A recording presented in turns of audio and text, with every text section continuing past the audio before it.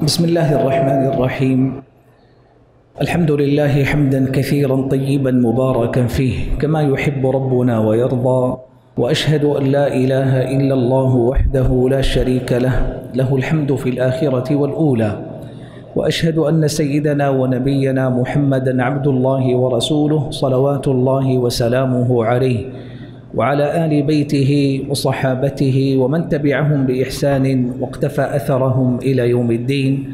وبعد أيها الإخوة الكرام فمن رحاب بيت الله الحرام ينعقد هذا المجلس التاسع عشر من مجالس مدارستنا لما أملاه الإمام تقي الدين ابن دقيق العيد رحمه الله تعالى في شرحه على أحاديث عمدة الأحكام.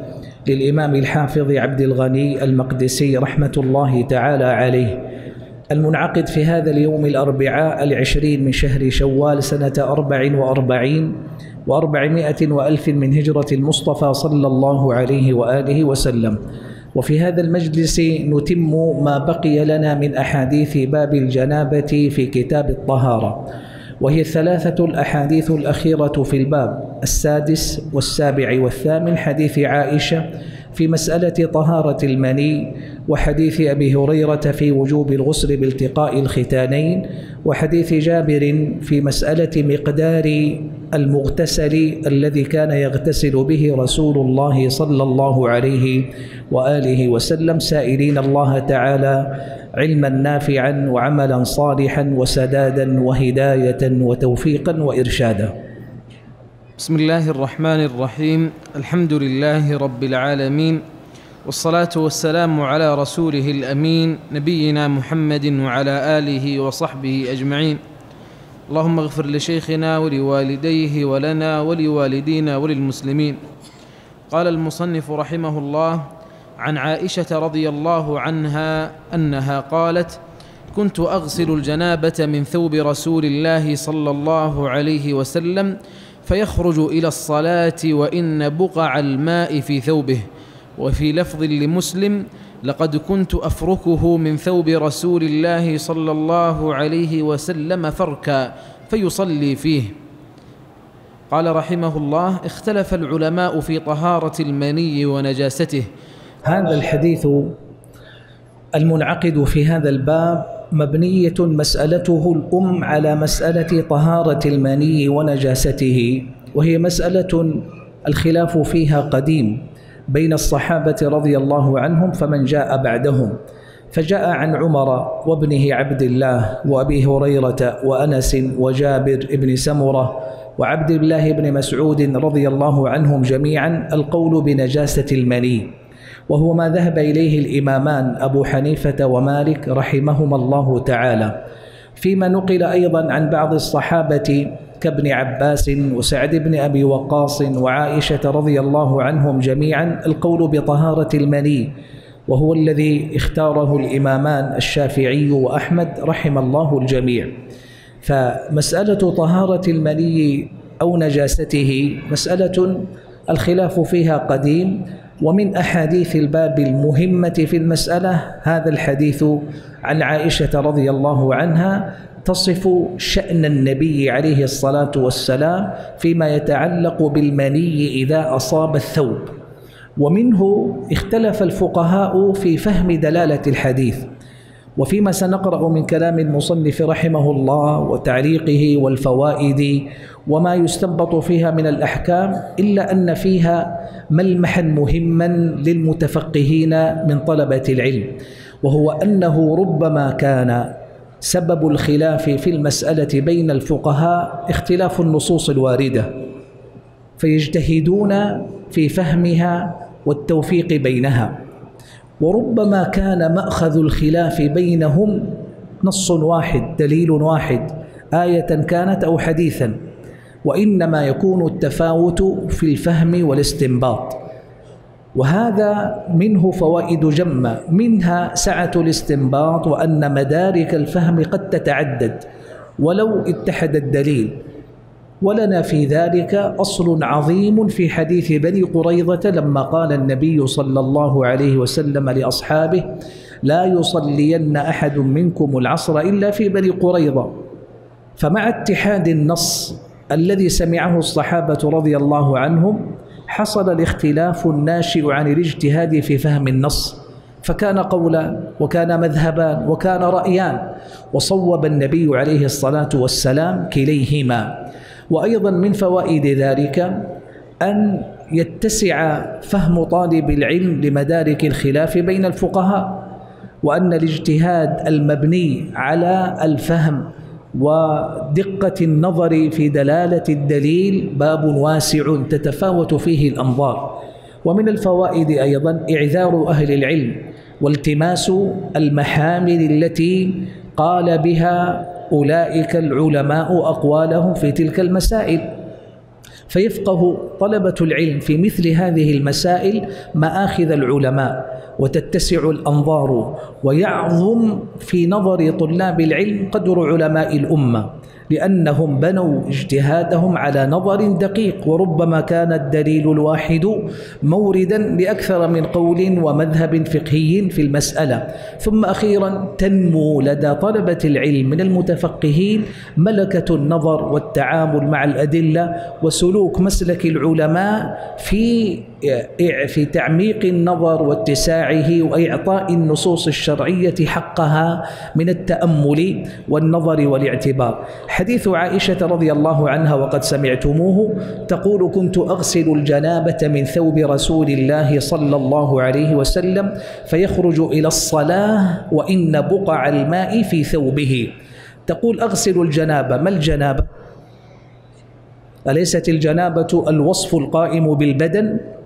تقول فلان عليه جنابة يعني أصابته جنابة منعته من الصلاة وقراءة القرآن والطواف ونحو ذلك. فما الذي غسلته عائشة رضي الله عنها؟ تقدم معنا سابقا أن المصنف رحمه الله أشار إلى أن الجنابة تطلق على معنيين وسينبه عليهما في آخر شرحه هذا الحديث. إما المني وإما الوصف القائم بالبدن.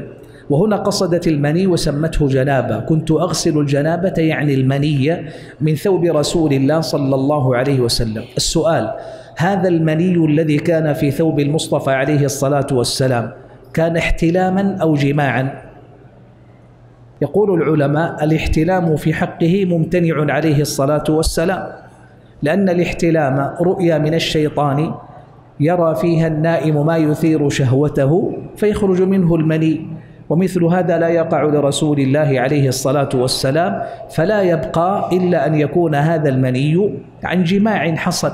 والجماع إذا حصل سواء كان إنزالا أو من غير إنزال ربما أصاب الثوب بعض المني وهي الذي قصدته عائشة رضي الله عنها في غسلها إياه من ثوب رسول الله صلى الله عليه وسلم. إذا قوله أغسل الجنابة إما أن تكون المقصود أثر المني أثر الجنابة الذي كان على ثوبه عليه الصلاة والسلام. تقول آه، ف ولقد في لفظ مسلم كنت أفركه من ثوب رسول الله صلى الله عليه وسلم فركا فيصلي فيه. ما الفرك؟ الدلك. الفرك بفتح الفاء الدلك وبكسر الفاء الفرك هو البغض. لا يفرك مؤمن مؤمنة إن كره منها خلقا رضي منها آخر. نعم. أحسن الله إليكم. قال رحمه الله اختلف العلماء في طهارة المني ونجاسته فقال الشافعي وأحمد بطهارته وقال مالك وأبو حنيفة بنجاسته. نعم وممن قال بطهارته أيضا داود الظاهري. وقد سمعت من الصحابة رضي الله عنهم من قال بالطهارة ومن قال بالنجاسة أيضا. والذين قالوا بنجاسته اختلفوا في كيفية إزالته فقال مالك يغسل رطبه ويابسه. سيسوق المصنف رحمه الله الآن ها هنا مآخذ من قال بالطهارة ومن قال بالنجاسة. لكن ابتداء ظاهر الحديث أيفهم منه طهارة المني أو نجاسته؟ كون عائشة رضي الله عنها تغسله من ثوب رسول الله صلى الله عليه وسلم هل هذا يدل على طهارته أو نجاسته؟ في الظاهر يدل على النجاسة لأنه لو لم يكن نجسا ما غسلته يعني لو كان طاهرا لأبقته. هذا القدر من الجملة في حديثها رضي الله عنها ظاهر قوي في نجاسة المني. لكن الرواية الأخرى في قولها أفركه فركا فيصلي فيه يدل دلالة ظاهرة قوية على طهارته. إذ لو كان نجسا ما اكتفت بفركه الفرك أو الحت أو الدلك إذا كان يابسا في الثوب. يعني ماذا لو أن نجاسة أخرى كدم مثلا أو غائط ونحوه أصاب الثوب ثم يبس أيكفي دلكه؟ الجواب لا لا بد من غسله فالنظر إلى الجزء الأول من الحديث يقوي ظاهره القول بالطهارة والنظر إلى الشطر الآخر يقوي ظاهره القول بالنجاسة فلذلك اختلف القولان في فهم هذا النص من حديث عائشة رضي الله عنها فمن قال بالطهارة كما كالشافعي وأحمد وداود يحتاج إلى الجواب عن الغسل فلماذا غسلته؟ قالوا ما غسلته إلا تنظفا وتطييبا وليس إزالة للنجاسة كالبصاق والعرق وسائر الأوساخ والأقذار إذا أصابت الثوب يغسله المرء تطيبا وليس إزالة للنجاسة ومن قال إنه نجس يحتاج إلى الجواب عن الفرك فإن كان نجسا فكيف يكتفى بفركه فاحتاجوا أيضا إلى تأول لمعنى الفرك قالوا لا هذا فرك بالماء تدلكه بالماء فسمي فركا وسيأتيك موجز الخلاف في المسألة وسيسوقه المصنف رحمه الله تعالى تباعا. نعم. أحسن الله إليكم. قال رحمه الله والذين قالوا بنجاسته اختلفوا في كيفية إزالته فقال مالك يغسل رطبه ويابسه وقال أبو حنيفة يغسل رطبه ويفرك يابسه. الآن كلاهما قائل بنجاسة المني. أما مالك رحمه الله فيقول بغسله سواء كان رطبا أو يابسا. وأما أبو حنيفة رحمه الله فأخذ بظاهر الحديث يغسل إن كان رطبا ويفرك إن كان يابسا. فنحتاج أيضا لفهم دليل الإمام مالك. أما غسله رطبا فظاهر في قولها كنت أغسله فيخرج إلى الصلاة وإن بقع الماء في ثوبه. فاحتاج المالكية إلى أن أن يجدوا دليلا لمسألة غسل اليابس منه. والحديث يدل على الاكتفاء بفركه. وقد سمعت قالوا المقصود به الفرك يعني إما أن تقول يعني الدلك بالماء أو تقول هو فرك يعقوبه غسل بالماء ليجمع بين الفرك وبين الغسل. وسيأتي أيضا الإشارة إلى هذا. قال أما مالك فعمل بالقياس في الحكمين أعني نجاسته وإزالته بالماء. أما نجاسته فوجه الق... الآن سيحتاج إلى ذكر ما أخذ الإمام مالك رحمه الله في شقين من المسألة. الأول نجاسة المني يعني الحكم بكونه نجسا. والثاني الاستدلال على إزالته بالماء رطبا كان أو يابسا. قال أعمل الإمام مالك رحمه الله القياس في الحكمين نجاسة المني وإزالته بالماء. ليس بالضرورة أن يقصد بالقياس. ها هنا القياس الأصولي إلحاق فرع بأصل في حكم لعلة مشتركة. لكن المعنى الأعم وهو إلحاق الفرد بنظائره. أو إلحاق المسألة بقاعدة كلية مضطردة في الشريعة ذات أمثال وأشباه ونظائر فيكون هكذا قياسا بمعناه العام. نعم. قال أما مالك فعمل بالقياس في الحكمين أعني نجاسته وإزالته بالماء. أما أبو حنيفة رحمه الله فسيأتي ذكره بعد قليل. أما نجاسته فوجه القياس فيه من وجوه. أحدها أن الفضلات المستحيلة إلى الاستقذار في مقر تجتمع فيه نجسة والمني منها فليكن نجسا. وثانيها أن الأحداث الموجبة للطهارة نجسة والمني منها أي من الأحداث الموجبة للطهارة. وثالثها أنه يجري في مجرى البول فينجس. هذه ثلاثة مآخذ قياسية. للقول بنجاسة المني لمن قال به كمالك وأبي حنيفة رحم الله الجميع. ثلاثة مآخذ قياسية يعني ليست دليلا من الشريعة من الأدلة السمعية كالكتاب والسنة لكن بالنظر إلى القواعد العامة في الشريعة. الأول الوجه القياسي الأول أن كل فضلة مستحيلة إلى استقذار تجتمع في مقر تكون نجسة والمني منها. فالبول والودي والمذي كلها فضلات ويقصد بالفضل هنا ال- الذي يخرج زائدا فاضلا عن حاجة البدن. فإنه يخرج وفي مقر تجتمع فيه ويقصد بذلك المخرج المتحد. فإن مخرج المني والبول والودي والمذي واحد. فإذا اجتمعت في مقر واحد وهي فضلات مستحيلة يعني صائرة في مآلها إلى الاستقذار في مقر تجتمع فيه والمني منها. فلا نفرق بين المني والبول والمذي والمدي مع أن المني أن البول نجس بإجماع والمذي على الراجح فيه والودي كذلك نجس. بقي الخلاف في المني فألحق الفرد هذا بنظائره لهذا المعنى المشترك بين كل ما يخرج من مخرج البول. الوجه القياسي الثاني أن كل حدث يوجب الطهارة نجس. كل حدث البول الغائط المذي خروج الريح الدم الخارج من أحد السبيلين كل حدث يوجب الطهارة فهو نجس.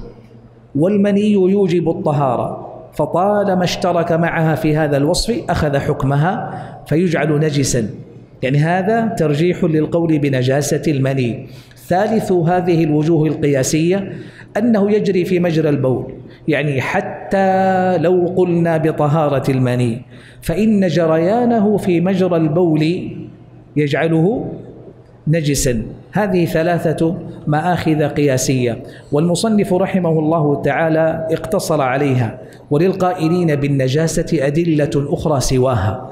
وتجاوز رحمه الله الخوض في تفاصيل الخلاف الفقهي وكيف أجاب القائلون بطهارة المني لكنها بإيجاز كما قررها عدد من الفقهاء والشراح وتجدها مبسوطة في كتب الفقهاء كابن رشد في النهاية وكما صنع الصنعاني أيضا في تعليقه على شرح الإمام ابن دقيق العيد. منها مثلا قولهم الفضلة المستحيلة إلى الاستقذار في مقر تجتمع فيه تكون نجسة يجاب عنه أن الحكم بالنجاسة إما أن يكون للانفصال عن الغذاء والاستحالة عن الغذاء أو لكونه خرج من مخرج البول أو لكلا الأمرين. فإذا نظرت إلى ما استحال من الغذاء فإن ذلك لا يوجب كونه نجسا. فاللعاب والبصاق والمخاط أكرمكم الله كلها فضلات ناتجة عن الغذاء ولا قائل بنجاستها فهذا لا يعم. إذا ليس هذا هو المأخذ. بقي أن ننظر إلى ما خرج من مخرج البول. فهل هذا يوجب النجاسة؟ هل هو إذا ليس نجسا لعينه إن قلنا إنه يخرج من مخرج البول فتنجس. إذا معنى هذا أنه لا يلزم أن يكون نجس العين لأن المجرى والمقر الباطن لا يحكم عليه بالنجاسة وإنما يحكم بعد الخروج والانفصال لنجاسته في عينه والمني ليس كذلك. الوجه الثاني الذي ذكروه في قولهم أن كل حدث يوجب الطهارة يكون نجسا والمني منها أجابوا عنه بأن الجماع الخالي من الإنزال أيضا يوجب التطهر وليس ذلك لنجاسته. ولا يستلزم ذلك نجاسة لحدث أوجب الغسل فلا تعم القاعدة ولا يصح إطلاقها. أخيرا بقي القول أن ما جرى مجرى البول ينجس تقدم قبل قليل أن الانفصال عن المخرج هو الذي يتجه الحكم إليه وليس الحكم على المقر الباطن والمجرى الذي جرى فيه المني. ولهم أدلة أخرى على القول بالنجاسة منها قولهم مثلا إن المني مبدأه المذي. وهو السائل اللزج الشفاف الذي يكون في مبادئ أمر الشهوة يسبق خروج المني. قالوا المني مبدأه المذي وقد دل الشرع على نجاسة المذي لما أمر بغسل الذكر وغسل ما أصاب الثوب منه. قالوا فما كان مبدأه نجسا؟ يكون مآله نجسا فإذا كان أصله المذي وهو نجس فيكون المني كذلك. وهذا أيضا أجيب عنه بأكثر من جواب أنه لا يلزم التسليم بهذا القول. من قال إن المني مبدأه المذي بل هما حقيقتان مختلفتان في الماهية والصفات والعوارض والطبيعة والرائحة. فلا وجه للاشتراك بينهما ودعوى أن المني مبدأه المذي. ولو سلم هذا فإنه أيضا لا يفيد حكما. ألا ترى أن اللبن مبدأه الدم من بين فرث ودم لبنا خالصا والدم نجس واللبن. وإن كان مبدأه الدم فإنه لا يوافقه لا في صفته ولا في حكمه طهارة أو نجاسة وغيرها من الأحكام. بل قالوا المني مبدأ الآدمي. فإذا طردنا القاعدة واعتبرنا المني نجسا سيكون الآدمي بجملته نجسا فطرد هذا الأصل لا يستقيم. ومنهم كذلك يعني جملة من الأدلة أن المني سمي أذى والأذى نجس.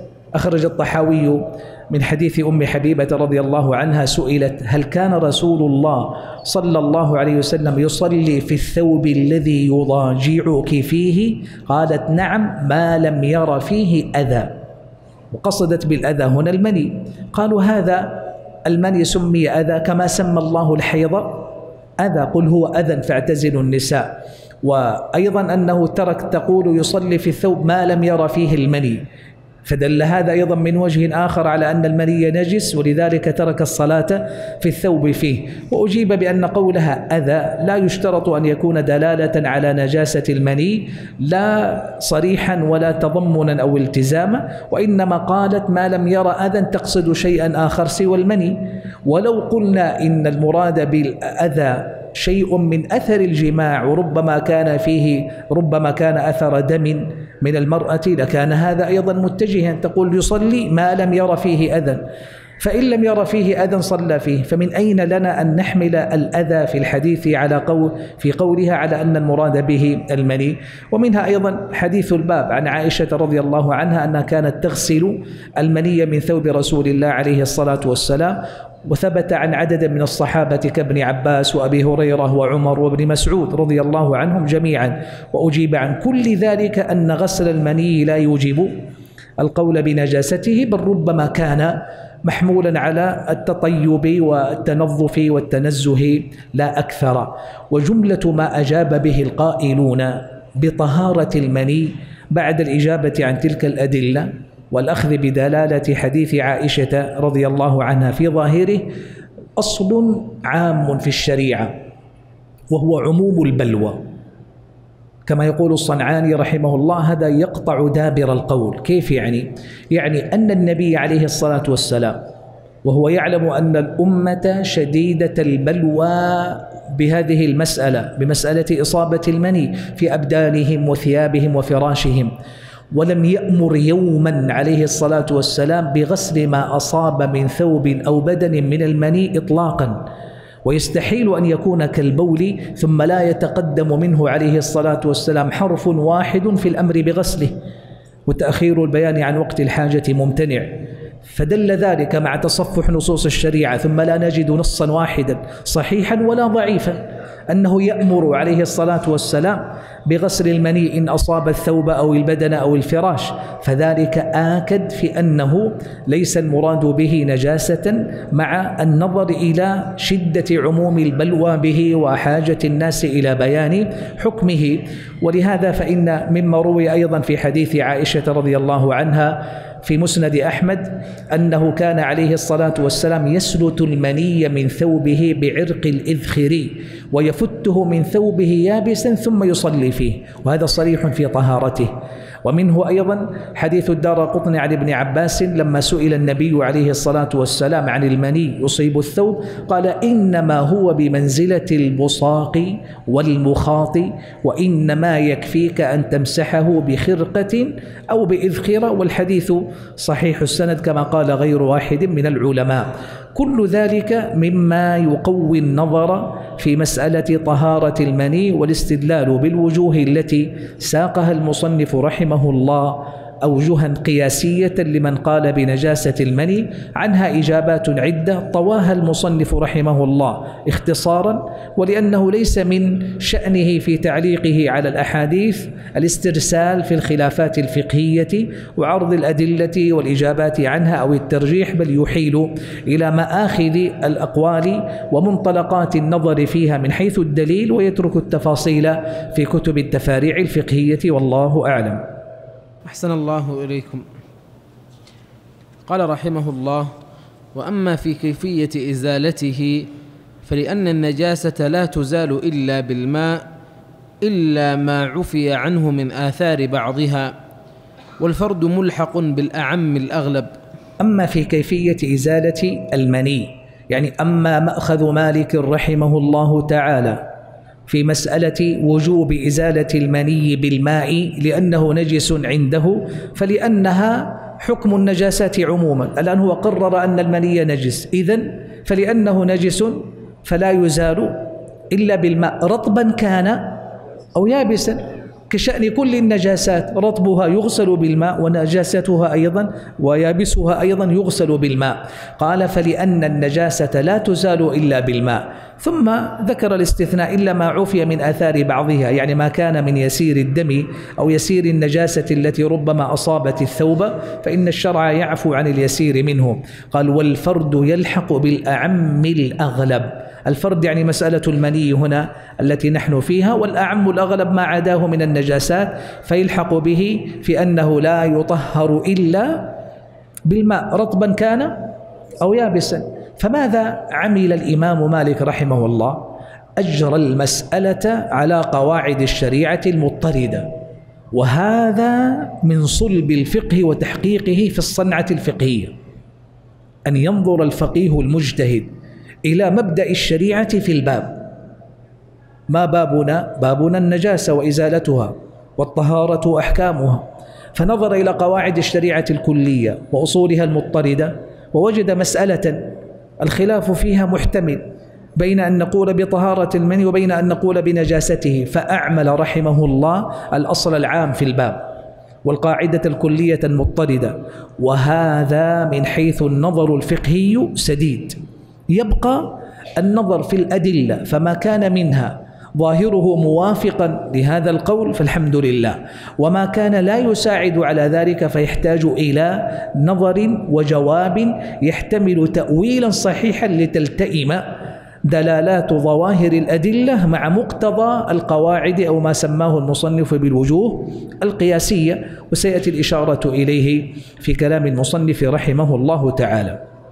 أحسن الله إليكم. قال رحمه الله وأما أبو حنيفة فإنه اتبع الحديث في فرك اليابس. ما قول أبي حنيفة رحمه الله؟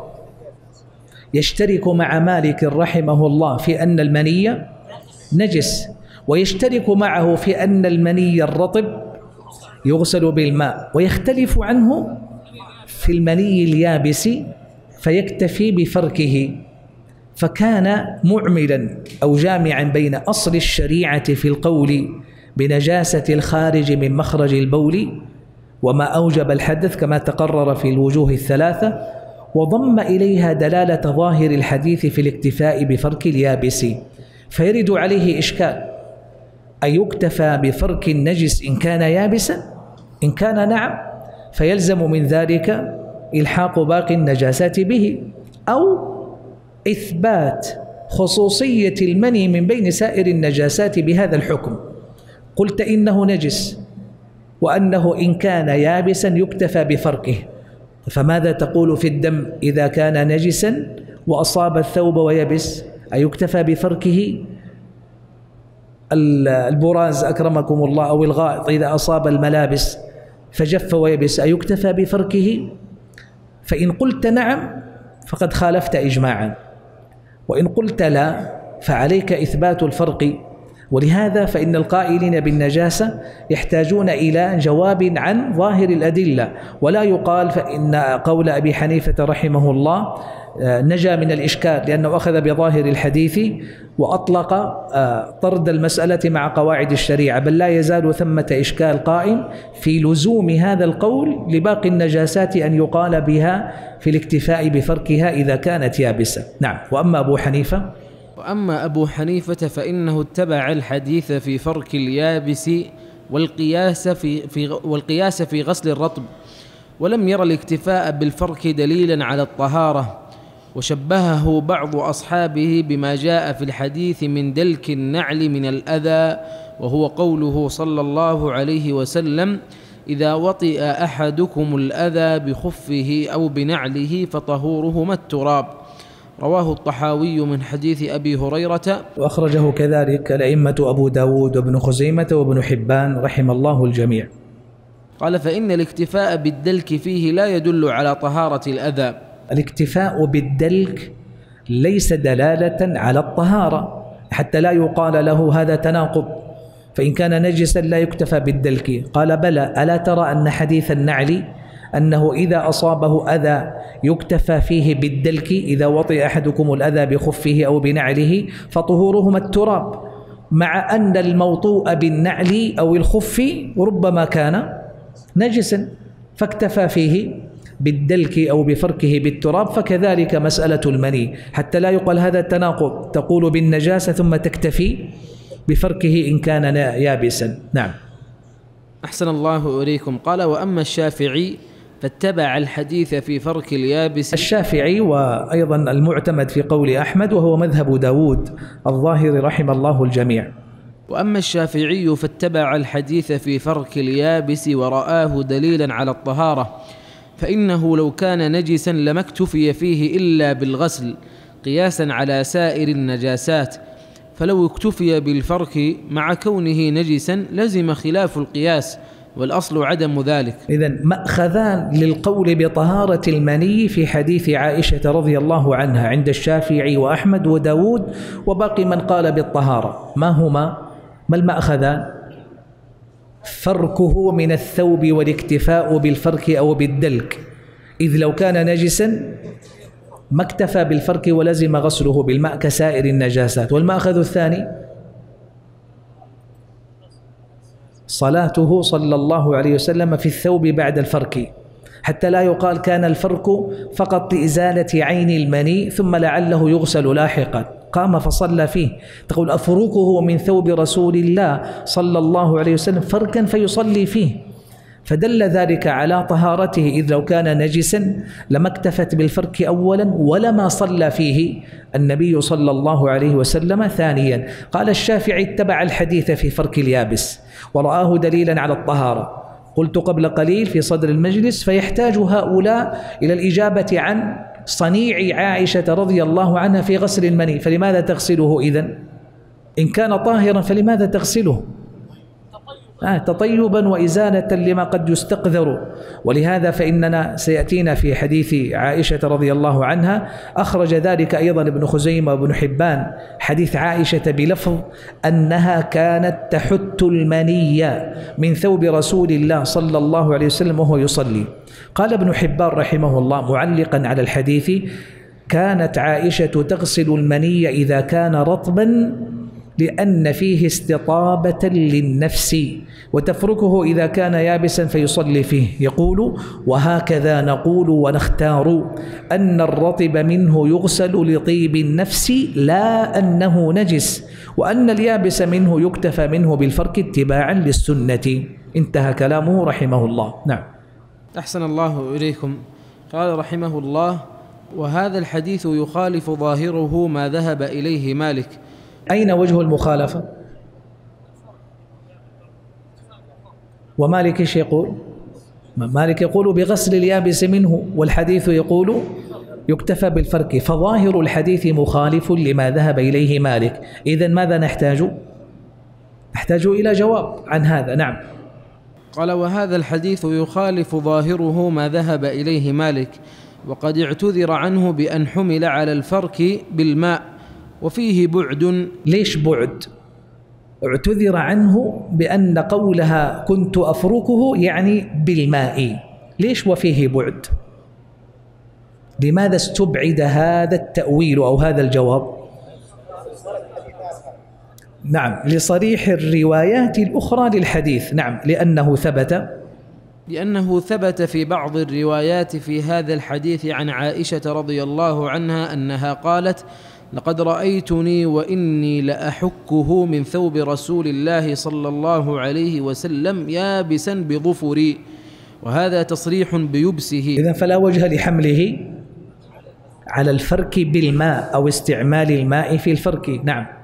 وأيضا في رواية يحيى بن سعيد عن عمرة عن عائشة أنها قالت كنت أفرك المني من ثوب رسول الله صلى الله عليه وسلم إن كان يابسا بظفري وأغسله أو أمسحه إذا كان رطبا شك الراوي.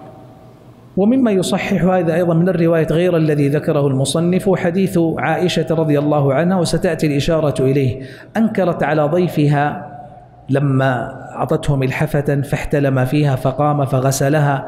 قالت لما أفسد علينا ثوبنا إنما كان يكفيه أن يفركه بأصابعه فربما فركته من ثوب رسول الله صلى الله عليه وسلم بأصابعي. فظاهر الروايات الأخرى لا تساعد على ما أجاب عنه أصحاب الإمام مالك رحمه الله من أن الفرك محمول على الدلك بالماء. نعم.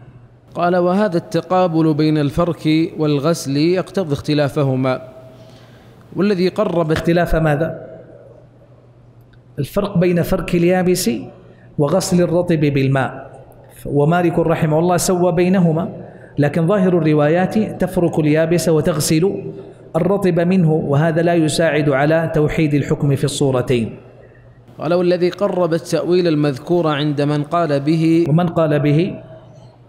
القائلون بنجاسة المني نعم. والذي قرب التأويل المذكور عند من قال به ما في بعض الروايات عن عائشة أنها قالت لضيفها الذي غسل الثوب إنما كان يجزئك إن رأيته أن تغسل مكانه وإن لم تره وإن لم تره نضحت حوله. فلقد رأيتني أفركه من ثوب رسول الله صلى الله عليه وسلم. ضيفها هو عبد الله بن شهاب الخولاني كما جاء مصرحا به في رواية الإمام مسلم. فإنها أعطته ملحفة بات فيها فاحتلم فقام فغسلها فقالت لما أفسد علينا ثوبنا إنما كان يكفيك أو يجزيك أن تغسل مكانه. ظاهر كلام عائشة رضي الله عنها وجوب الغسل عند رؤية المني في الثوب. لأنها قالت يجزيك أن رأيته أن تغسل مكانه. فلهذا قالوا هذا أيضا يدل على كونه نجسا لأنها حكمت بذلك. والجواب أنها حم إما أن تقول هو محمول على الاستحباب لأنها ذكرت الفرك أيضا في قولها وإن لم تر نضحت حوله لقد رأيتني أفركه. فاكتفت بذلك رضي الله عنها. نعم فحصرت الإجزاء فحصرت الإجزاء في الغسل لما رآه وحكمت بالنضح لما لم يره وهذا حكم النجاسات. فلو كان هذا الفرق المذكور من غير ماء ناقض آخر الحديث أوله الذي يقتضي الذي يقتضي حصر الإجزاء في الغسل ويقتضي إجراء حكم سائر النجاسات عليه في النضح إلا أن دلالة قولها لأحكه يابسا بظفري أصرح وأنص على عدم الماء مما ذكر من القرائن من كونه مفروكا بالماء. والحديث واحد اختلفت طرقه. والحديث الواحد إذا اختلفت طرقه دل على أن اختلاف الروايات فيه والألفاظ التي ينقلها الرواة ليست محمولة على تعدد الحديث لنحمل كل لفظ على حكم حديث مستقل فينظر إلى الجمع بينها بل هو حديث واحد وواقعة واحدة تحكيه عائشة رضي الله عنها عن صنيعها في ثوب رسول الله صلى الله عليه وآله وسلم. إذا فقولها إنما كان يجزيك أن تغسل إذا رأيت وتنضح إذا لم تره وإن كان ظاهر يدل على أنه نجس لكن صريح قولي أفركه؟ وفي بعض الألفاظ أحكه يابسا بظفري قال أشد صراحة ووضوحا وتنصيصا على أنها ما استعملت الماء على عدم الماء. أكثر من القرائن المذكورة كما ساقه المصنف رحمه الله تعالى. قال والحديث واحد والحديث واحد اختلفت طرقه. وأعني بالقرائن النضح لما لم يره وقولها إنما كان يجزيك. ومن الناس من سلك طريقة أخرى في الأحاديث التي من الناس من أي فئة؟ القائلين بنجاسة المني. نعم. قال ومن الناس من سلك طريقة أخرى في الأحاديث التي اقتصر فيها في الأحاديث التي اقتصر فيها على ذكر الفرق. قال هذا لا يدل إلا على الفرق من الثوب وليس فيه دلالة على أنه الثوب الذي يصلي فيه. ذكر الفرق وحده لا يفيد الطهارة. ذكر الفرك فرك المني من الثوب وحده لا يفيد الطهارة. ليش؟ على اعتبار أنه ربما غسله فيما بعد فمتى يكون الفرك مفيدا للطهارة؟ إذا ثبت أنه صلى في الثوب. فإذا لا بد من ضميمة المسألة الثانية مع الأولى. لاحتمال تقول هذا ثوب نجس. طيب هل شيء يمنع أن يبقى الإنسان لابسا ثوبه وفيه نجاسة؟ ما في شيء يمنع أن تلبس ثوبا نجسا. ما الممنوع؟ أن تصلي فيه. هذا هو الممتنع. فإذا مجرد بقاء دلالة الحديث على فرك المني لا يدل على النجاسة. قال من الناس من سلك طريقة أخرى في الأحاديث التي ورد فيها ذكر الفرك. فقال هذا لا يدل إلا على مجرد الفرك ولا يدل على أنه الثوب الذي يصلي فيه. نعم فيحمل. قال فيحمل على ثوب النوم ويحمل ويحمل الحديث الآخر الذي ذكره المصنف وهو قولها فيخرج إلى الصلاة وإن بقع الماء في ثوبه على ثوب الصلاة. توجيه وجيه. أن قول كنت أفركه يعني ولو كان نجسا. ولا دلالة في أنه صلى في هذا الثوب. إلا إذا كانت الرواية فيها ما يدل على أن ذاك الثوب الذي فرك فيه المني هو الذي صلى فيه. فهل تؤيد هذا الرواية؟ الجواب نعم. لأنها قالت فيصلي أفركه من ثوب رسول الله صلى الله عليه وسلم فركا فيصلي. طيب ربما يقول قائل فركته ثم غسلته ثم صلى فلا إشكال. ويبقى قولنا بأنه نجس وأنه ترى ما صلى فيه ولو صلى فيه فبعد غسله. أما قالت وإن بقع الماء في ثوبه يعني غسلته. هذه روايات في حديث عائشة رضي الله عنها. كل هذه يا إخوة المؤاخذات والاحتمالات والإجابات ليبقى الاحتمال القائم بهذا القول وبذاك القول لا يساعد على إلغاء الخلاف في المسألة. ولو ترجح عندك القول بالطهارة فلا تحسبن القول بالنجاسة شاذا أو مطرحا بل له مآخذ ويحتاج إلى نظر وإعمال فكر. ومن قال بأنه طاهر فالقول بالنجاسة هو الآخر ليس أيضا مما يطرح ويسقط ويعتبر شاذا لا عبرة بالنظر فيه. فهذا الحراك الفقهي وإعمال النظر في مثل هذا النقاش في القول بطهارة المني ونجاسته مما يثري ملكة طلاب العلم في النظر الفقهي المرتبط بالمآخذ الأصولية والنظر في طرق الاستنباط وربط الأحكام بأدلتها ووجوه الدلالة فيها. نعم. أحسن الله إليكم. قال رحمه الله ومن الناس من سلك طريقة أخرى في الأحاديث التي اقتصر فيها على ذكر الفرق قال هذا لا يدل إلا على الفرك من الثوب وليس فيه دلالة على أنه الثوب الذي يصلي فيه. فيحمل على ثوب النوم ويحمل الحديث الآخر الذي ذكره المصنف وهو قولها فيخرج إلى الصلاة وإن بقع الماء في ثوبه على ثوب الصلاة. ولا يقال إذا حملتم الفرك على غير ثوب الصلاة فأي فائدة في ذكر ذلك؟ لأننا نقول فائدته بيان جواز لبس الثوب النجس في غير حالة الصلاة. وهذه الطريقة قد تتمشى. أي طريقة؟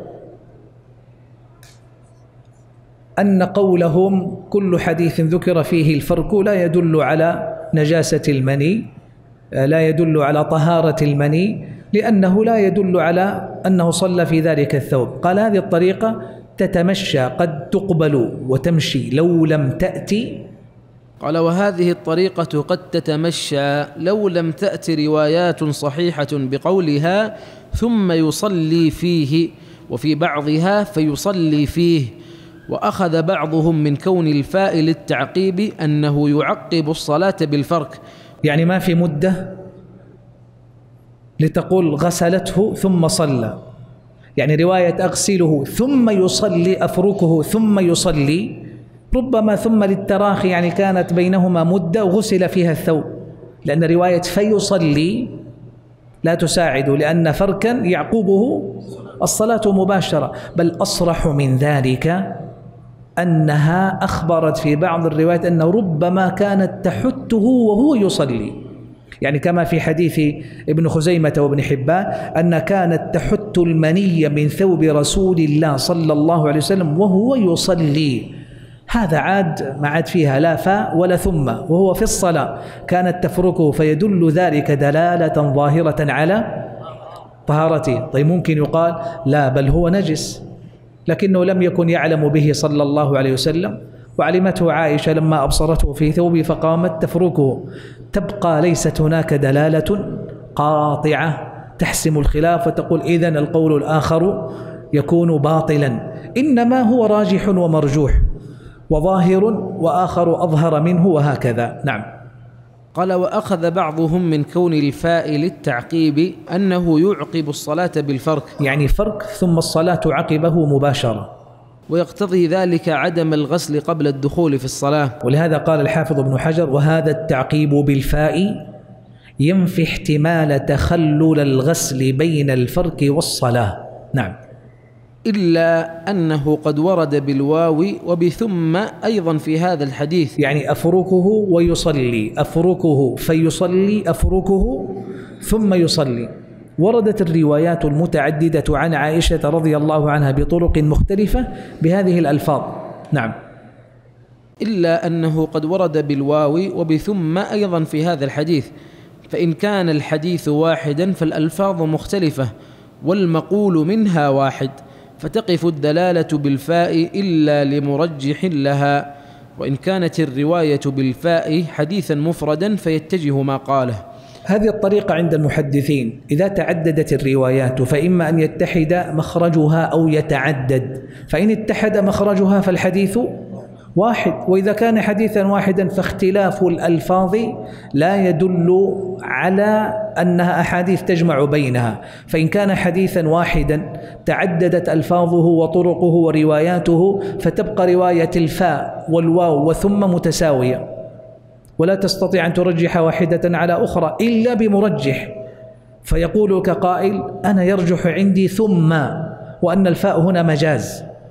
وأن ثم هذه للتراخي يدل فيها دلالة غير صريحة على أن بين الفرك والصلاة في الثوب مدة كان يكفي للغسل وإن لم يذكر في الحديث. لا تستطيع أن ترجح إلا بمرجح. وإن اعتبرت حديث الفاء فيصلي مخرجا مستقلا ورواية وواقعة تختلف عن باقي الروايات فيتجه ما قال. إذا اعتبرت الحديث منفردا مستقلا عن باقي الروايات. نعم. وقوله إلا أن يقوم مرجح. قلت لك من المرجحات التي تبين ما هو ظاهر من قال بطهارة المني؟ بعض الروايات كما سمعت في رواية ابن خزيمة وابن حبان لما تقول رضي الله عنها كانت تحكه وهو يصلي. فإذا فهذا دل على أنه لا مدة بين الفرق والصلاة بل هو في أثناء الصلاة. نعم. أحسن الله إليكم. قال رحمه الله واعلم أن احتمال غسله بعد الفرك واقع لكن الأصل عدمه. يعني عند من يقول بأن المني نجس وأن الفرك كان خطوة قبل الغسل وأن فركت وغسلت ثم صلى فيه النبي صلى الله عليه وسلم. هذا الاحتمال وارد أو احتمال ممتنع؟ من حيث الاحتمال العقلي وارد هو احتمال قائم لكن هل هو الأصل أو الأصل عدمه؟ الأصل عدمه لأنه ما ذكر. فإذا هو احتمال والأصل عدمه. وها هنا مكمن النظر الفقهي في أن تعمل الأصل أو تعمل الظاهر. الظاهر يدل على احتمال قائم والأصل يدل على عدم الغسل. فكيف تجمع بين هذين؟ هنا نشأ الخلاف الذي أشار المصنف إلى مأخذه. أحسن الله إليكم. قال رحمه الله واعلم أن احتمال غسله بعد الفرك واقع. لكن الأصل عدمه فيتعارض النظر بين اتباع هذا الأصل وبين اتباع القياس ومخالفة هذا الأصل. فما ترجح منه ما عمل به لا سيما إن انضمت قرائن في لفظ الحديث تنفي هذا الاحتمال. فإذ ذاك يتقوى العمل به وينظر إلى الراجح منه بعد تلك القرائن أو من القياس. يعني هل يرجح القياس في أصل الخارج الموجب للطهارة بأنها كلها نجسة فيرجح أو تترجح الرواية في ظاهرها مع القرائن مثل فيصلي وكونه يفرك وهو يصلي في الثوب واستبعاد غسل الثوب بالماء والاكتفاء بالفرك وكون الذي تولى ذلك وباشره الراوي وهو عائشة رضي الله عنها كل ذلك يرجح عدم الغسل كما قال المصنف وليس في الشريعة شيء يشبه ما قال به القائلون بنجاسة المني. ما هو؟ أنه يفرك ثم يغسل. فإنهم يقولون يفرك إن كان نجسا ثم يغسل بالماء. وليس في أصول النجاسات وقواعدها في الشريعة ما يساعد على إلحاق المني به. فإذا قيل خصوصية الحكم فإن ظاهر الأدلة لا يساعد عليه. ولهذا قال المصنف رحمه الله ما آخذ الفقهاء في النظر إما إلى إعمال القياس والمقصود بالقياس كما قلنا في صدر الحديث الوجوه القياسية المتعلقة بكل خارج من مخرج البول يوجب الطهارة فالقياس فيها جعله نجسا أو ترجيح الأصل وهو عدم الغسل والاكتفاء بظاهر الرواية فأن تنظر في أحد الأمرين وترجحه مع الإجابة التي يلتئم معها ما قاله القائل بأحد هذين القولين. نعم. أحسن الله إليكم. قال رحمه الله وقد استعمل في هذا الحديث لفظ وقد استعمل في هذا الحديث لفظ الجنابة بإزاء المني وقد ذكرنا أنه يستعمل بإزاء المنع والحكم الشرعي المرتب على خروج الخارج والله أعلم. يعني منع من قامت به الجنابة من العبادات التي اشترطت لها الطهارة كمس المصحف وقراءة القرآن والطواف والصلاة ونحوها. فالجنابة إذا إما ذات المني وإطلاق الجنابة على المني مجاز من إطلاق السبب على المسبب لأن سببه خروج المني فسمي جنابة أو الوصف المترتب يعني الوصف القائم بالبدن الحدث يسمى جنابة وكلا المعنيين يطلق عليهما جنابة بهذا الاسم. هذا الحديث في قول عائشة رضي الله عنها كنت أغسل الجنابة إلى آخر الحديث. كما ترى ليس فيه جملة نبوية من قوله صلى الله عليه وسلم. إنما هو حكاية فعل يصف فيه الصحابي وهو هنا عائشة رضي الله عنها ما يتعلق بحكم المسألة ومنها اختلف الفقهاء في حمل هذه الجملة من قولها باختلاف الروايات على ما يستفاد من القول بطهارة المني أو بنجاسته. قولها رضي الله عنها وإن بقع الماء في ثوبه من أثر الغسل يعني البقعة من أثر الغسل.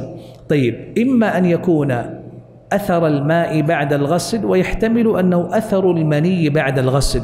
يعني ما دلالة قولها؟ فيصلي فيه وإن بقع الماء في ثوبه. هل تقصد أثر الماء بعد الغسل؟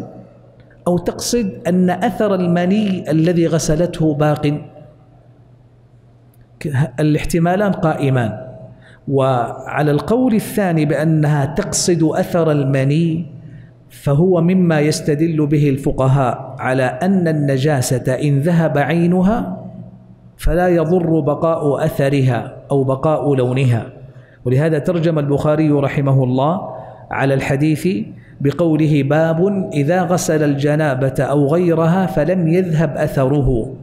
فهل هذا يقوي قول إن الإمام البخاري رحمه الله صائر إلى القول بنجاسة المني هو كذلك وهو ترجيح منه رحمة الله عليه لهذه المسألة التي سيأتي الكلام عنها أيضا في الحديث الآتي بعد قليل في حديث أبي هريرة رضي الله عنه. نعم. أحسن الله إليكم. قال رحمه الله عن أبي هريرة رضي الله عنه أن النبي صلى الله عليه وسلم قال إذا جلس بين شعبها الأربع ثم جهدها فقد وجب الغسل وفي لفظ وإن لم ينزل. قال رحمه الله الشعب جمع شعبة وهي الطائفة من الشيء والقطعة منه. هذا الحديث أصل عند الفقهاء في مسألة إيجاب الغسل بمجرد الجماع وإن لم يحصل إنزال المني. فمتى حصل الجماع بين الرجل وامرأته أو جاريته الموطوءة؟ فقد وجب الغسل. والمقصود هنا إيلاج الذكر في فرج المرأة. بل المقصود كما دلت عليه الأحاديث الأخر علاج الحشفة وحده كاف في إيجاب الغسل وإن لم يحصل علاج الذكر بأكمله فضلا عن أن يحصل إنزال. فهذا القدر هو الذي يستنبط منه الفقهاء هذه المسألة وحديث أبي هريرة رضي الله عنه أحد أحاديث هذا الباب في مسألة إيجاب الغسل. نعم.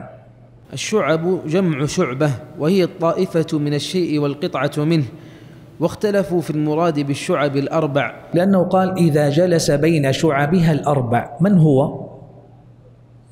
الزوج. طيب ما ذكر في الحديث؟ كما لم تذكر المرأة. بين شعبها فجاء بالضمير. فلم يسمي الرجل ولم يسمي المرأة في الحديث قال إذا جلس بين شعبها الأربع.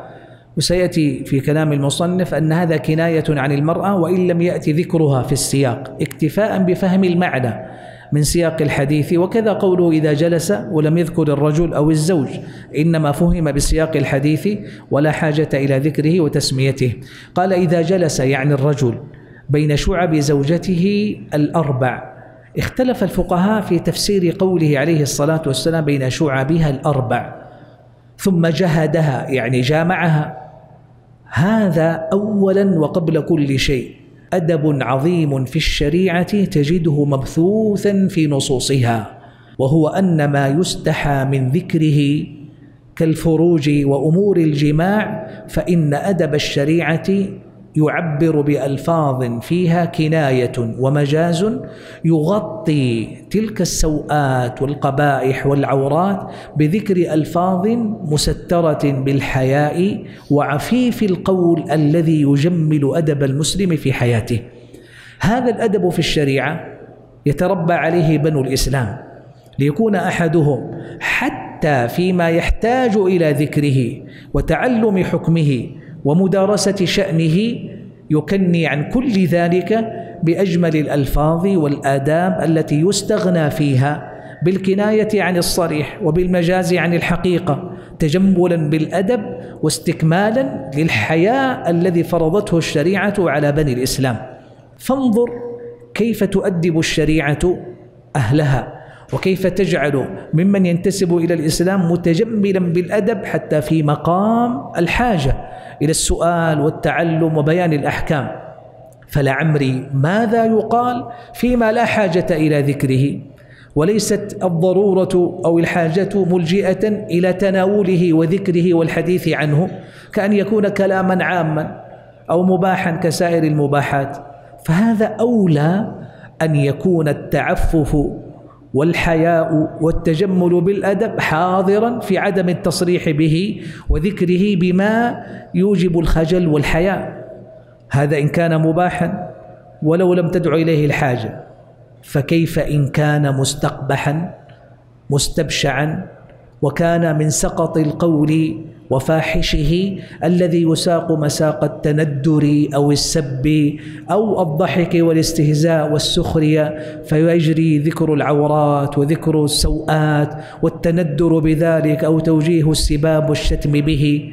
فلا جرم أن ما يقع فيه بعض السفهاء ممن يجري على لسانهم مثل ذلك القول هو أبعد ما يكون عما جاءت به الشريعة من الأدب الجم ومثل هذه النصوص مدعاة إلى إعمال النظر فيها وإعادة تقرير جانب الأخلاق والآداب وتربية بني الإسلام عليه والنبي عليه الصلاة والسلام وهو نبي الأمة.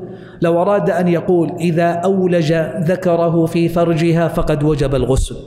لكن الأدب العظيم فقال إذا جلس بين شعبها الأربع ثم جهدها فلذلك جاء العلماء قالوا ماذا قصد بالشعب الأربع؟ هل المقصود يداها ورجلاها؟ لأنه ذكر عددا أربع شعب جمع شعبة. فما المقصود بشعب المرأة الأربع؟ أهو يداها ورجلاها؟ أم رجلاها وفخذاها؟ أم فخذاها وطرفا فرجها؟ أيا كان فهو أدب. وكن به. والسامع فهم المراد. أن الرجل إذا مقعد من المرأة كما يقعد الرجل من زوجته حال الجماع.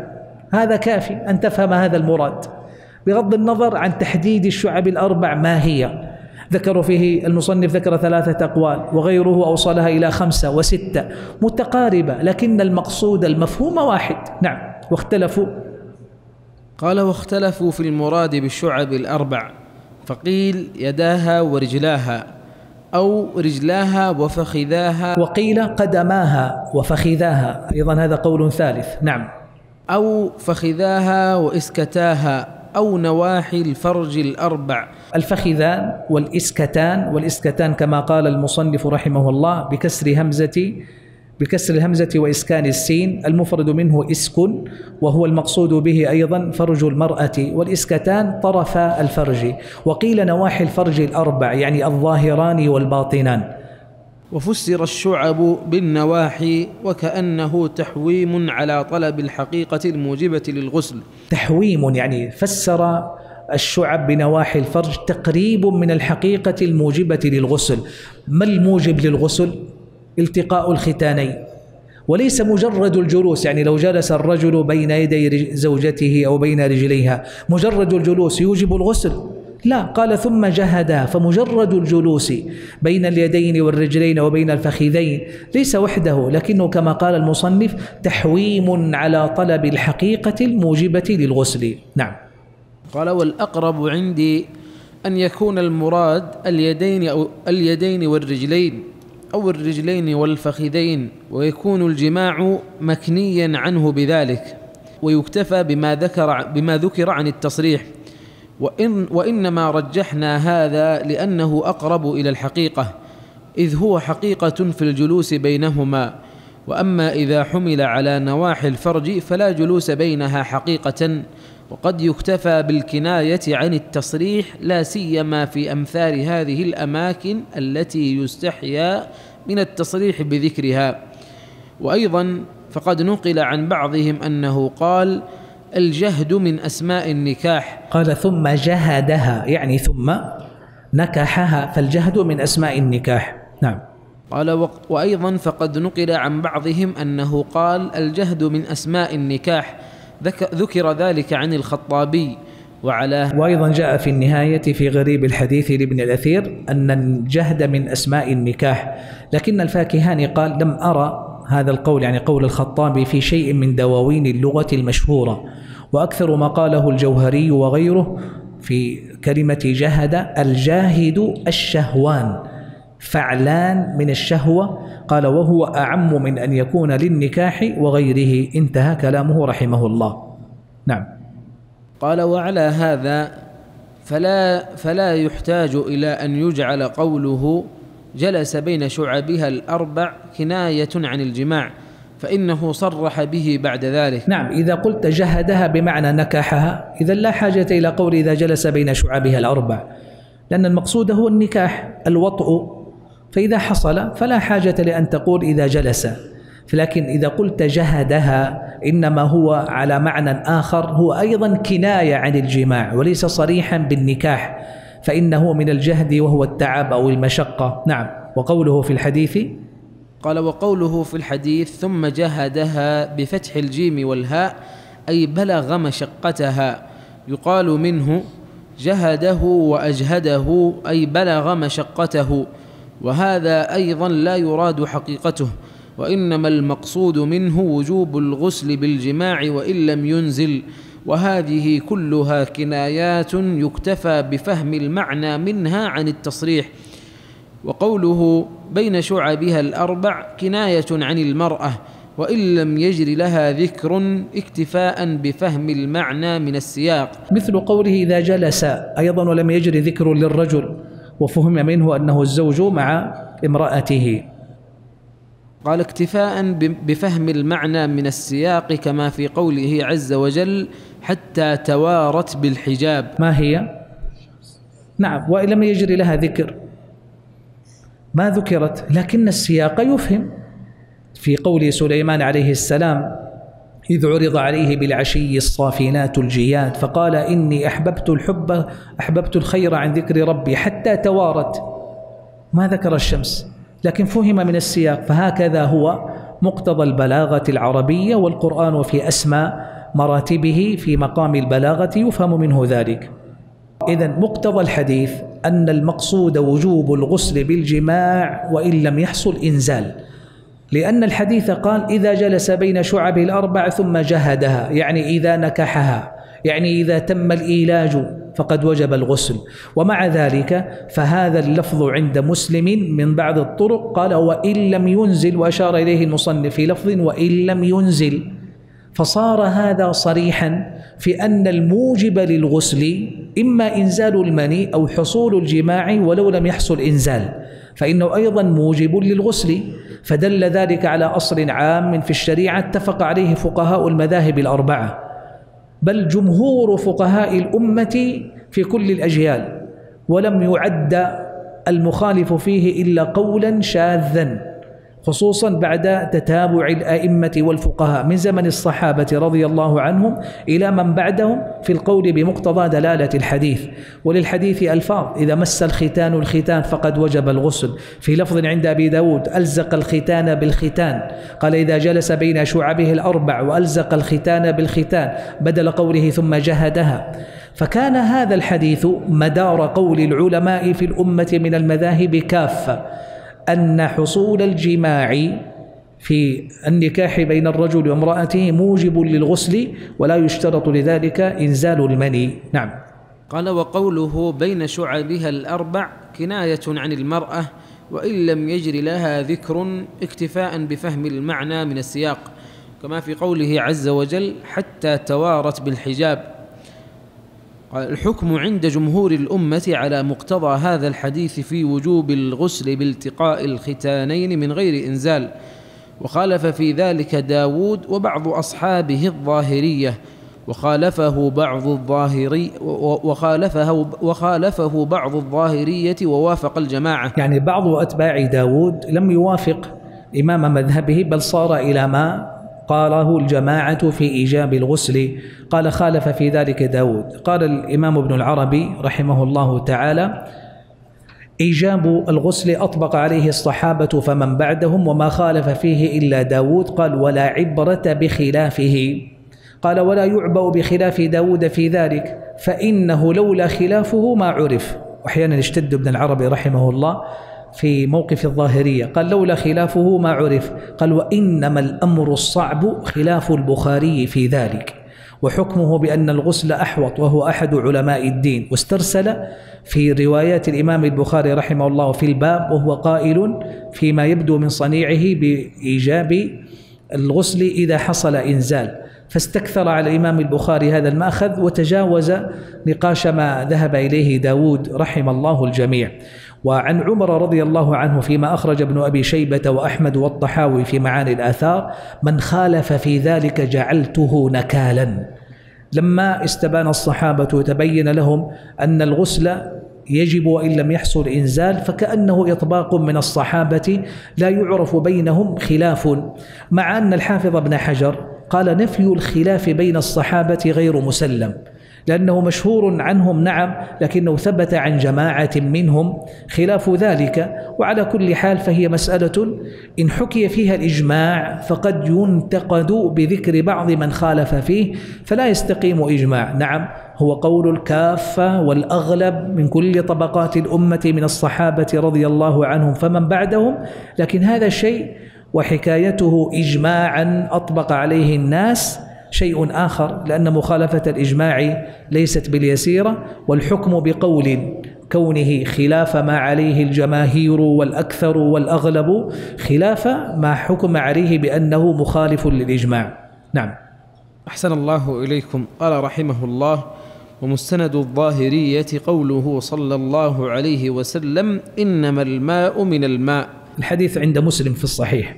يعني إنما الماء الموجب للغسل من الماء الذي يخرج من الإنسان بالمني. فالماء الأول ماء الطهارة والماء الثاني ماء الإنسان ماء الرجل أو المرأة المني. الحديث ظاهره يقتضي الحصر أنه لا اغتسال إلا إذا حصل إنزال. إنما الماء من الماء. إنما الماء في الغسل من الماء الذي يخرج من الإنسان. فظاهره يقتضي الحصر. نعم وقد جاء في الحديث قد جاء في الحديث إنما كان الماء من الماء رخصة في أول الإسلام ثم نسخ. ذكره الترمذي. من حديث أبي بن كعب رضي الله عنه وقال حسن صحيح. هذا جواب على قول الظاهر ومن صار إليه مما استندوا إليه. قال حديث إنما الماء من الماء حصر وهو أقوى من دلالة الأحاديث الأخرى. يعني داود الظاهري لم يخفى عليه الحديث إذا جلس بين شعبه الأربع لكن عنده هذا الحديث أقوى وأصرح. فما جواب العلماء كافة؟ أنه حديث منسوخ. إنما الماء من الماء. كما قال هنا كان رخصة في أول الإسلام ثم نسخ. كما ذكره الترمذي من حديث أبي بن كعب وهو قول علماء الأمة كافة. أنه كان في أول الإسلام. الحديث صحيح. فلا سبيل إلى تضعيفه.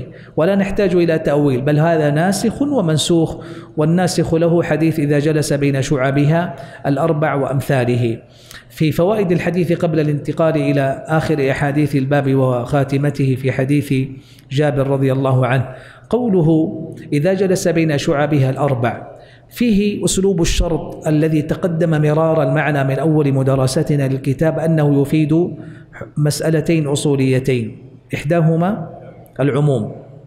في كل وقت يحصل فيه هذا يترتب عليه الحكم المشروط. كلما حصل جلوس وحصول الشرط يترتب حصول المشروط. والفائدة الثانية الشرطية تعليق الحكم بالشرط. فلا يجب الغسل إلا إذا تحقق القيد. ما القيد؟ الجلوس والنكاح. إذا جلس ثم جهدها. هذا القيد ها هنا كما يقول ابن دقيق العيد خرج مخرج الغالب. لأن الجلوس بين شعبها وجهدها ليس شرطا لوجوب الغسل. بل متى غابت الحشفة في الفرج وجب الغسل. فقوله فقد وجب الغسل هو قيد هو مشروط بقيد لكنه خرج مخرج الغالب. الفائدة الأخرى في قوله فقد وجب الغسل فيه دلالة على أنه ليس على الفور. لا يجب الاغتسال فور الجماع. وأحاديث أخرى مضت في الباب منها أحاديث الأسبوع المنصرم في المجلس الماضي في حديث عمر رضي الله عنه أيرقد أحدنا وهو جنب؟ قال نعم إذا توضأ أحدكم فليرقد وهو إجماع. آه، أيضا من الفوائد في الحديث كما يقول ابن الملقن رحمه الله وجوب الغسل ووجوب المهر وغيرهما متعلق بتغييب الحشفة في فرج المرأة ولا يشترط إيلاج جميع الذكر. قال وهذه مسائلها كثيرة مسألة تغييب الحشفة. أوصلها الجوين إلى ستين مسألة وأوصلها غيره إلى نيف وسبعين. وأوصلها بعض المالكية إلى نيف وثمانين. قال وقد جمعت منها ما تيسر من ذلك في أوراق مفردة ولله الحمد. نعم. أحسن الله إليكم. قال رحمه الله عن أبي جعفر محمد بن علي بن الحسين بن علي بن أبي طالب رضي الله عنهم أنه كان هو وأبوه عند جابر بن عبد الله وعنده قوم فسألوه عن الغسل فقال صاع يكفيك فقال رجل ما يكفيني؟ فقال جابر كان يكفي من هو أوفى منك شعرا وخيرا منك يريد رسول الله صلى الله عليه وسلم ثم أمنا في ثوب. وفي لفظ كان رسول الله صلى الله عليه وسلم يفرغ الماء على رأسه ثلاثا. قال رضي الله عنه الرجل الذي قال ما يكفيني هو الحسن بن محمد بن علي بن أبي طالب رضي الله عنه. أبوه محمد بن الحنفية. هذا الحديث حديث جابر رضي الله عنهما يرويه محمد بن علي بن الحسين بن علي بن أبي طالب أبو جعفر. هو راوي الحديث هذا عن جابر رضي الله عنه والقائل في نقاشه لجابر ما يكفيني هو كما قال المصنف رحمه الله تعالى الحسن بن محمد بن علي بن أبي طالب بني عمه. فهذا الحديث فيه ذكر بعض آل بيت رسول الله صلى الله عليه وسلم وهم بحضرة الصحابي الجليل جابر بن عبد الله رضي الله عنه وعن أبيه. وفيه سؤالهم إياه عن هذه القضية وهي مسألة المقدار الذي يغتسل به المسلم. وإنما ذكر هذا السبب في بعض روايات الحديث كما أخرج النسائي في روايته قال تمارينا في الغسل عند جابر. فكان هذا مثار السؤال الذي حملهم على توجيه السؤال إلى جابر رضي الله عنه. إذا فالسائل آه، هو محمد آه، المذكور في الحديث راوي محمد بن زين العابدين. والقائل ما يكفيني؟ هو الحسن بن محمد بن علي بن أبي طالب ابن عمه. فهذا الحديث الذي دار أصبح مرجعا وأصبح مستندا لمسألة فقهية يقررها الفقهاء في مقدار ما يغتسل به المسلم فيما يروى ثابتا صحيحا عن رسول الله صلى الله عليه وآله وسلم. شرع المصنف رحمه الله تعالى مباشرة في ذكر مسائل الحديث وما يتعلق به ولم يجري على عادته في التعرض لرواة الحديث وذكر منهم ها هنا محمد بن علي بن الحسين ابن علي بن أبي طالب أنه كان هو وأبوه عند جابر بن عبد الله. محمد راوي الحديث هذا هو الملقب بالباقر وهو أبو جعفر وابنه جعفر الملقب بالصادق. محمد الباقر راوي الحديث هنا الذي كان هو وأبوه علي بن الحسين زين العابدين. جعفر آه، محمد الباقر قيل لقب بالباقر لأنه بقر العلم يعني شق عن مشكلاته وغوامضه. وهو أحد أئمة آل البيت وساداتهم إمامة وعلما وصلاحا وشأنا عظيما وآل البيت رضوان الله عليهم من أجلة الصحابة وأولادهم أيضا من أجلة التابعين. ولد سنة ست وخمسين وتوفي سنة أربع عشرة ومئة.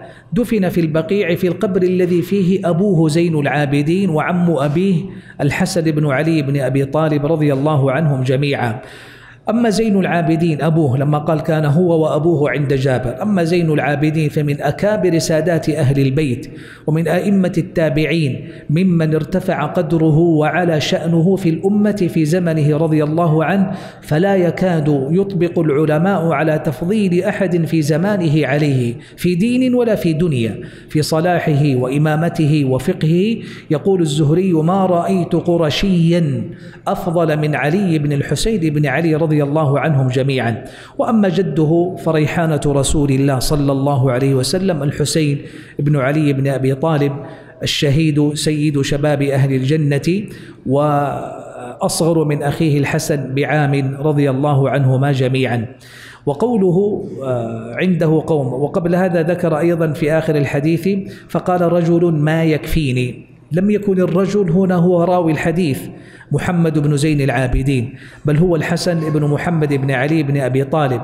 لما قال ما يكفيني قال رجل ولم يسمى ها هنا واكتفي بالإشارة إليه والمقصود به هو آه، كما تقدم في بعض الروايات مسمى باسمه. ولهذا قال الشيخ عبد الغني المقدسي الرجل الذي قال ما يكفيني هو الحسن بن محمد بن علي بن أبي طالب. كنيته أبو محمد. هو أيضا من أجلة التابعين. قال عمرو بن دينار أخبرني الحسن بن محمد ولم أرى أحدا قط أعلم منه. كان يقال له ابن الحنفية لأنه أبوه محمد بن الحنفية لأن أباه محمدا ابن علي بن أبي طالب ليس شقيقا للحسن والحسين. فإن الحسن والحسين أمهما فاطمة الزهراء بنت رسول الله صلى الله عليه وسلم ورضي الله عنها.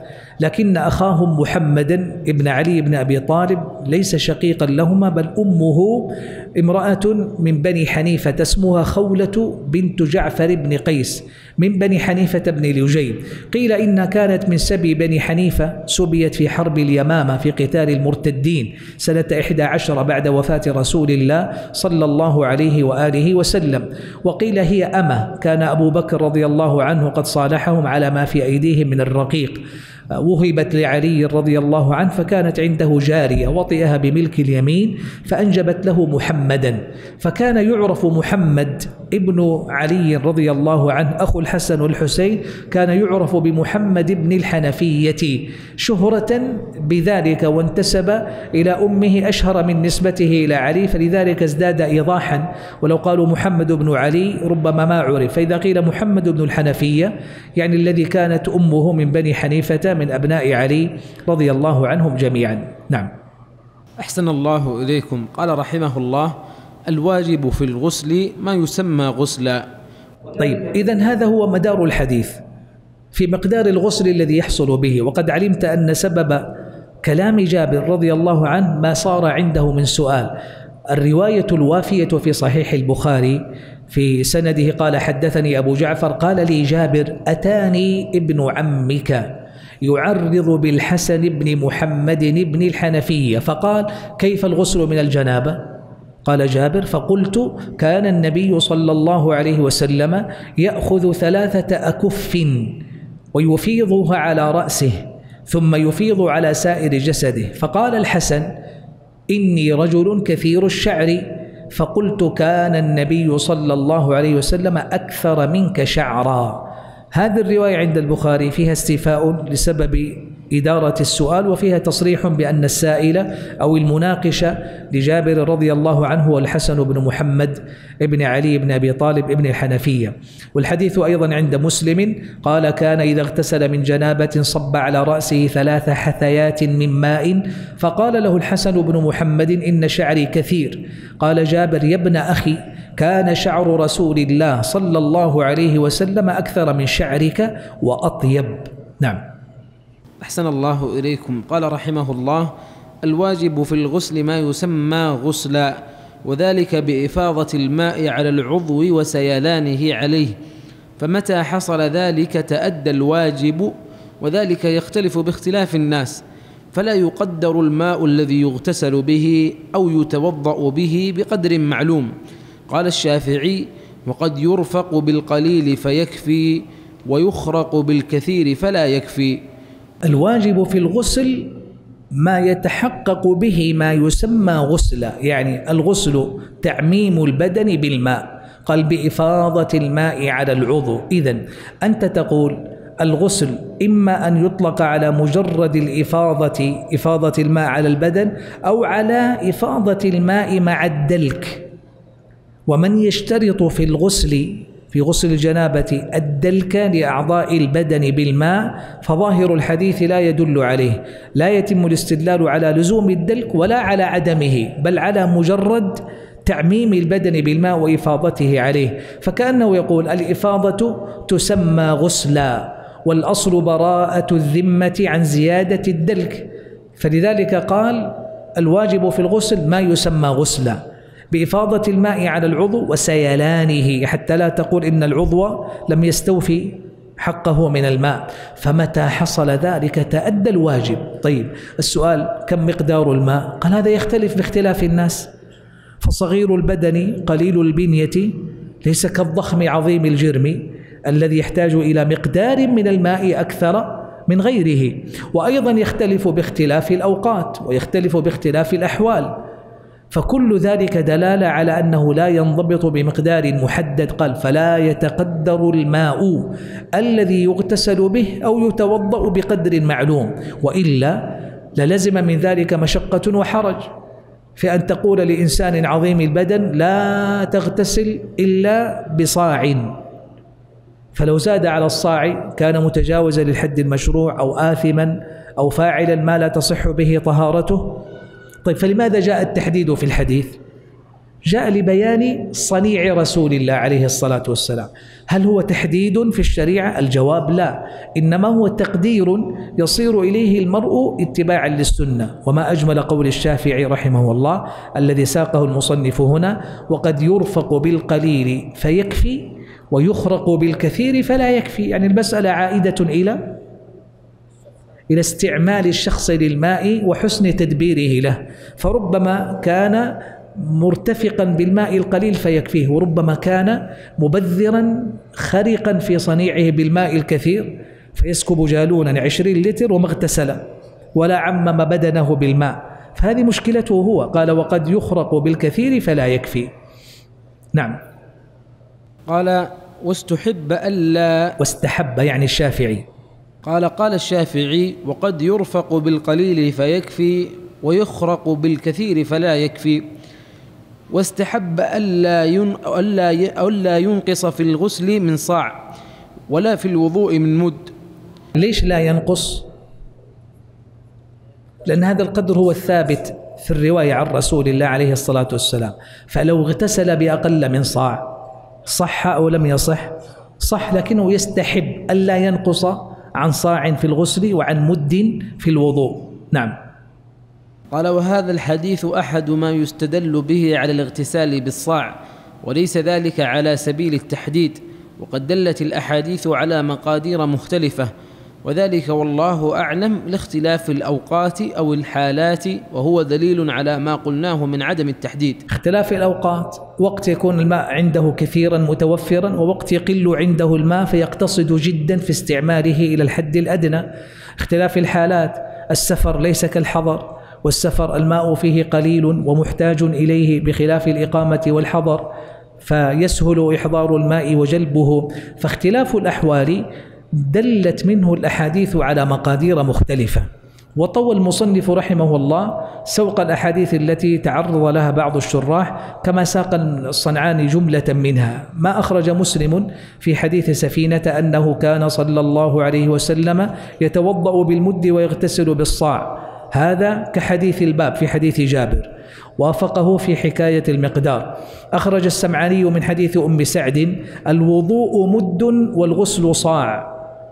بنفس المقدار. وسيأتي أقوام يستقلون ذلك أولئك خلاف أهل سنتي والآخذ بسنتي معي في حظيرة القدس.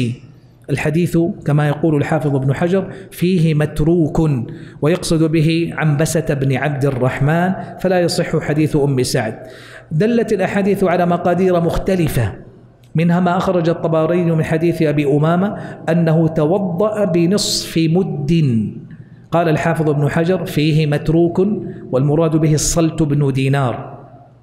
أخرج البيهقي بلفظ بأقل من مد. أخرج ابن خزيمة وابن حبان من حديث عبد الله بن زيد والحديث صحيح أنه توضأ بنحو ثلثي مد. وهذا وارد على من يستحب المد. أنه ثبت أيضا بأقل من مد وهو الثلثان هنا في حديث ابن خزيمة وابن حبان. وكذلك أخرجه أبو داود والنسائي من حديث أم عمارة وصححه أبو زرعة من حديث أم عمارة.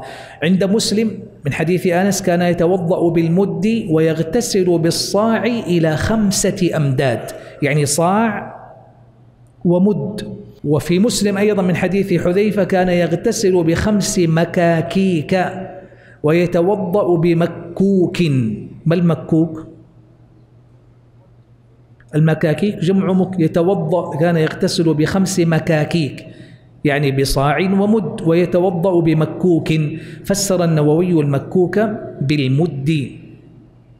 وفيه أيضا من حديث عائشة في مسلم أن كانت تغتسل هي مع رسول الله صلى الله عليه وسلم في إناء يسع ثلاثة أمداد أو قربها من ذلك يعني أقل من صاع. وفيه أيضا في مسلم أنها كانت تغتسل في القدح وهو الفرق وفسره سفيان بثلاثة آصع.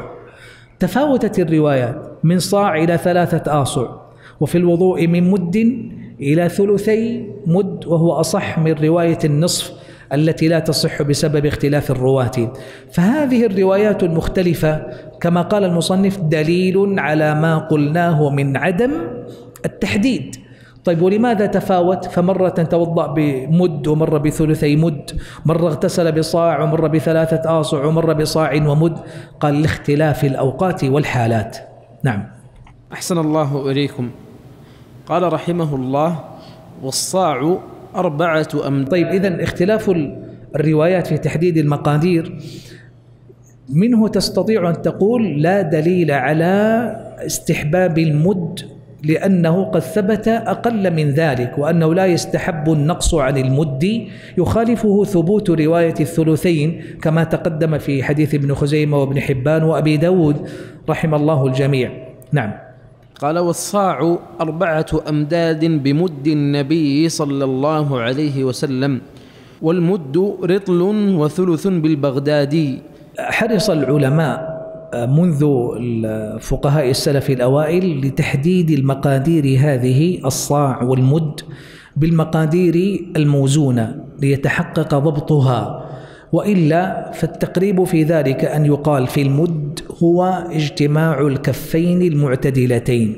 ملء الكفين المعتدلتين. اجتماع الكفين هكذا فما ملئ فيهما من ماء أو من حب يقال له مد. والصاع أربعة أمداد وإنما يقال ملء الكفين المعتدلتين ليكون وسطا فليست الكفان الصغيرتان ولا الضخمتان الكبيرتان بل هما المعتدلتان وهي مقدار كفي رسول الله صلى الله عليه وآله وسلم. صاع مفردة تذكر وتؤنث ويقال فيه أيضا صوع وصواع ولمن جاء به قال نفقد صواع الملك ولمن جاء به حمل بعير. فصواع وصوع وصاع ثلاث لغات في الكلمة وهو أربعة أمداد بمده صلى الله عليه وسلم. قال والمد رطل وثلث. بالبغداد يعني بالمقدار الرطل البغدادي الذي كان معروفا. هذا عند الجمهور الأئمة الثلاثة.